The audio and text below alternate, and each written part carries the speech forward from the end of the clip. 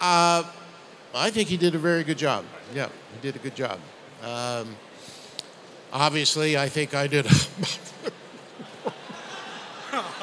no, I, th- I think that, uh, you know, he, for not really being totally into uh, uh, animation and understanding, uh, I think, clearly what some of the backstory was as an actor, he, you know, he did what he needed to do and uh, did a good job.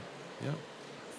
Well, I'll tell you, uh, I worked with Michael Bay, and uh, I always worked alone. He never worked with actors uh, outside of on camera uh, on a uh, multiple basis. So I never heard Hugo's rendition of Megatron. Never had the opportunity until the movie itself.